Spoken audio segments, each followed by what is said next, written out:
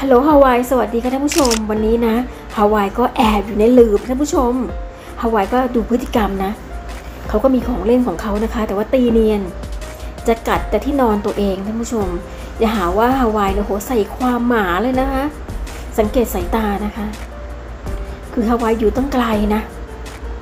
พยายามซูมไปภาพเลยไม่ชัดท่านผู้ชมฮาวายขอโทษนะคะแล้วเขาก็เดินมาหาฮาวายนะฮาวายก็ซุ่มนะเดี๋ยวท่านผู้ชมดูนะ ตรงนี้แหละ นี่แหละ ตีเนียน กัดที่นอนแล้วเห็นไหมคะ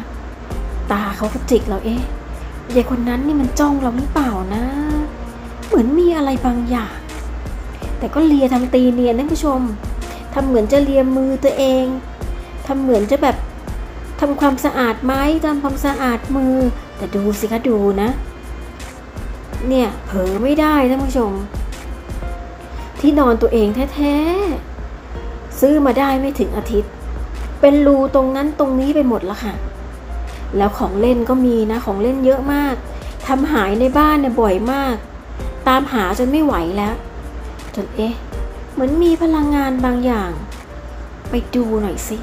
แล้วก็มาจ้องหน้าฮาวายท่านผู้ชม มันมาจ้องแบบนี้จริง ๆ นะ เดินมาใกล้เลยแล้วก็จ้องฮาวายก็บอกว่าทำเป็นไม่รู้ไม่ชี้ท่านผู้ชม ขนาดดูสิ เล่นไปยังระแวงเลยอะระแวงว่าเอ๊ะเขาจะรู้ว่าเราจะจะกัดที่นอนเราอีกแล้วอะไรประมาณนั้นผู้ชม นี่แหละค่ะ คือร็อกซี่ท่านผู้ชมเฉยไฉไปเรื่อยนะคะ ต้องระวังตัวตลอดเวลาท่านผู้ชมฮาวายไปแล้วนะคะ รักษาสุขภาพทุกคนค่ะ สวัสดีค่ะ